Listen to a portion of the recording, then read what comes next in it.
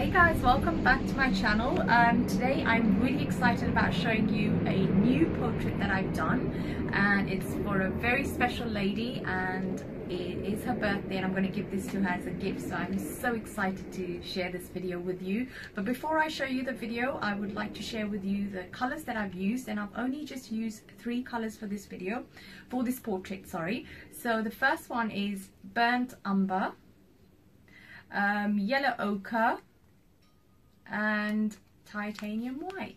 So for a basic portrait I always use these three colors but of course you guys can use anything you prefer and what you think is best for your painting. Also I never ever use ivory black because I think that ivory black tends to make your um, painting very dull. So if you use black on your portrait it's gonna just become all dull so I don't do it but of course you guys can and let me know how it goes.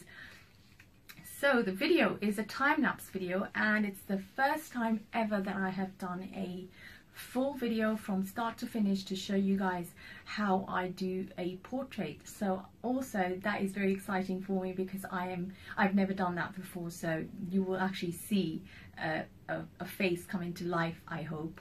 So anyway guys if you have any suggestions any comments any advice for me they are welcome. Please leave them in the comment box for me and I will be so happy to answer them for you and don't forget to hit the like button subscribe and share. Until the next video guys. See you later. Bye